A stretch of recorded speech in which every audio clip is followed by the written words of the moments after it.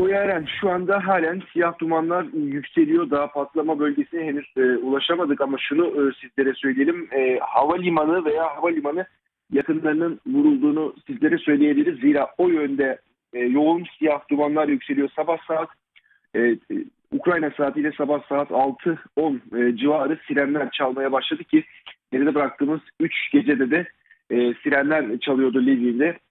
E, ancak bu sabah e, dediğimiz gibi sabah saat 6'yı 10 geçe sirenler çalmaya başladı ve sirenlerden yaklaşık bir 20 dakika sonra yani 6.30 civarında da ard arda e, patlama sesleri geldi. Yaklaşık 3 ve yani 3 veya 5 patlama olduğunu sizlere söyleyebiliriz. Zira biz de e, o sırada o saatlerde yatakta uyuyorduk. Siren seslerine uyandık ama ardından e, patlamalara geldi. Aslında bu siren seslerine biraz olsun alışmıştık. Çünkü sirenler çalıyor fakat ardından herhangi bir patlama olmuyordu. Fakat ne yazık ki bugün e, korkulan meydana geldi ve o siren seslerinin ardından çok şiddetli patlamalar oldu. Sizlere şunu söyleyebilirim. Patlamanın şiddetini anlatmak açısından e, bizler çok yoğun, net bir şekilde o siyah dumanları görebiliyoruz ama aramızda e, bir e, en azından 5-6 kilometre olduğunu söyleyebilirim patlama noktasıyla. Belki biraz daha fazla. Fakat e, patlamaların e, sesiyle beraber bulunduğumuz yer sarsılmaya başladı. Öyle ki e, ben de kendimi hemen yataktan yere atıp üstüme battaniyeyi çektim. Çünkü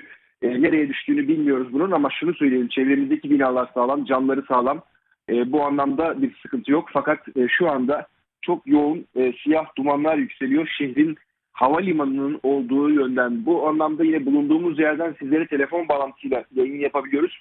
E, zira e, bulunduğumuz yerde görüntü çekilmesine müsaade edilmiyor güvenlik gerekçesiyle ve e, bizler de yine görüntü almak için e, yürüdüğümüz sırada e, bazı Ukraynalıların tepkisiyle karşılaştık. E, polisi arayanlar oldu çünkü e, burada şu anda çok e, bir panik var yani insanlar çok gergin durumda.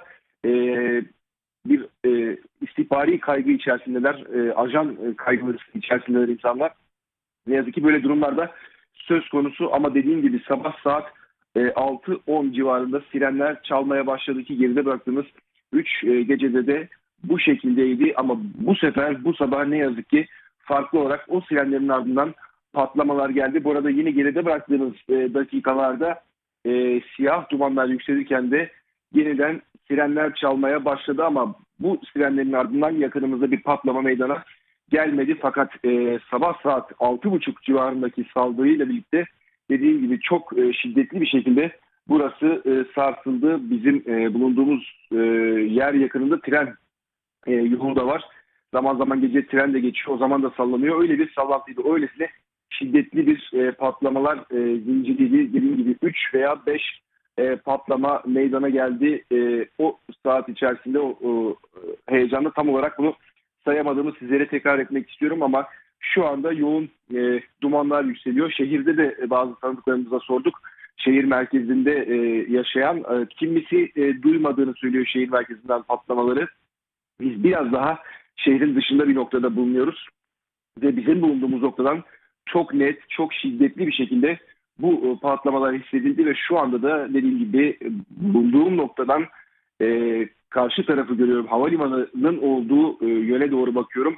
Yoğun siyah dumanlar yükselmeye devam ediyor ne yazık ki. Biz önceki günlerde yaptığımız e, bağlantılarda e, TRT kameramanı Volkan Makar Libya'dan sizlere e, canlı yayınlarla e, izlenimlerimizi aktarırken şunu söylüyorduk. E, bu şehir henüz e, Rusya tarafından yoğun saldırılara maruz kalmamıştı diyorduk. Ve bu anlamda e, şehrin nüfusu da oldukça arttı. Çünkü Ukrayna'nın özellikle doğu bölgelerinden insanlar e, bu şehre doğru geliyor saldırılardan uzak olduğu için. Ve Lviv ülkenin batıya açılan kapısı Polonya sınırına oldukça yakın yaklaşık 80-90 kilometre Polonya sınırında. Buradan çok sayıda insan ki 2 milyona e, ulaştı onların sayısı da Polonya'ya geçiş yaptı yapıyor. Burası aslında ailelerin birbirine veda noktası. Aileler burada e, anneler, e, babalar e, birlikte geliyorlar çocuklar. Ancak erkekler, babalar ve büyük abiler e, anne ve çocuklardan ayrılıp onları burada bırakıp anne ve çocuklarını e, Polonya'ya gönderiyorlar. İşte böyle bir kent. Şu an nüfusu çok fazla. E, ve biz şehir merkezinde değiliz ama tahmin ediyorum şehir merkezinde de trafik kilit olmuş durumdadır. Çünkü zaten günlerde trafik e, çok e, e, kilit.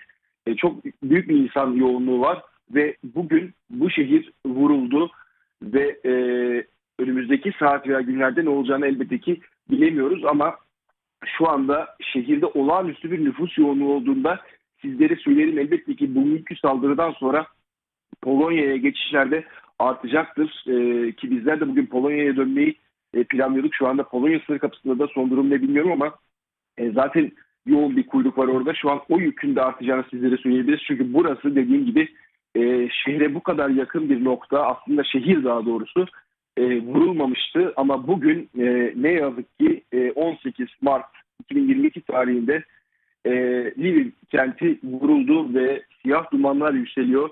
Dediğim gibi çok şiddetli patlamalardı bu patlamalar ve e, elbette ki şu anda şehir sakinleri en azından bizim bulunduğumuz noktada şehir sakinleri de oldukça gergin. insanların e, yüzleri e, oldukça e, sert bakışlı veya endişe e, dolu bakışlı ki yine e, konakladığımız yerin yakınında bir e, iki küçük çocuğu dışarıda o korkulu gözlerle dumanları izliyorlardı. Dumanları seyrediyorlardı. Çünkü tekrarlayayım burası daha önce yoğun bir saldırıya maruz kalmamış bir şehirdi, bir şehir merkeziydi ve e, dediğimiz gibi yaklaşık 3 gecedir sirenler çalıyordu.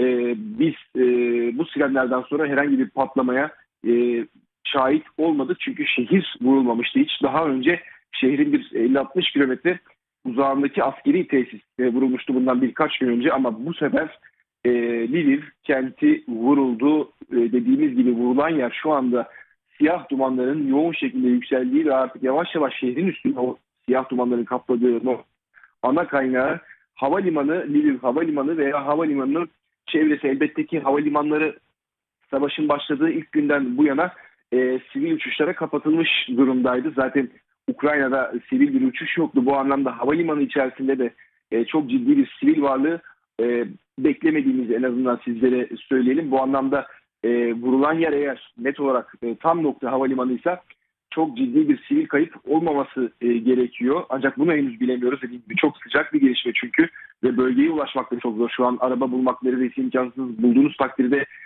e, şehir trafiğine girip e, içeriye gitmek neredeyse imkansız.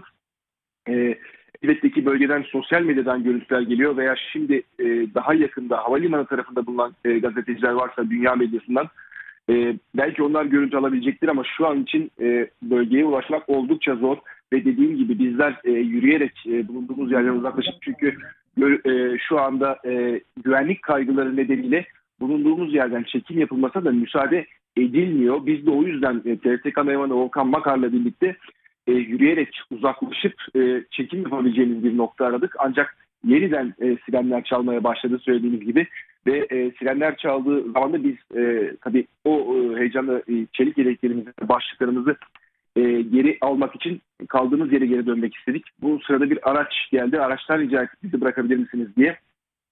Önce bizi içeri aldılar ama kameraları görünce akreditasyonunuz var mı, kimsiniz, nesiniz diye sormaya başladılar. E, ve bu anlamda bizler de kendilerini anlatmaya çalıştık.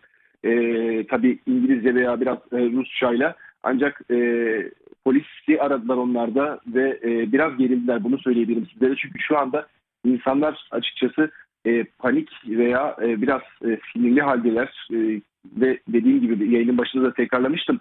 Burada istihbari kaygılar var. E, insanlar e, Rusya'nın e, burada canları olduğunu düşünüyor. Böyle bir iddiaları var ve görüntü alan kişileri, akreditasyonu olmayan kişileri ajanlık yapmakla suçlayabiliyorlar. Bu anlamda bizim de bildiğimiz araba e, oldukça o şoför gerildi, polisi aradı, e, sorular sordu. Biz e, Türk Devlet Televizyonu'ndan olduğumuzu ifade ettik kendisine. En sonunda kimliğimizi gösterince e, biraz daha e, yumuşadı ki elimizde kameramız, mikrofonumuz, her türlü teçhizatımız olmasına rağmen e, sonrasında biraz daha yumuşadı. Bizi arabadan indirdi. E, sorgulaması kendi açısından sorgulama yaptıktan sonra e, bizleri e, tekrar bırakmak istediğini söyledi ama evet, elbette arabaya yeniden binmedik. Yani biraz sizlere bunları anlatmamın sebebi şu anda Lviv'deki e, gerginliği bir şekilde e, yaşadığımız e, şehirdeki son durumu, insanların psikolojisini size aktarabilmek.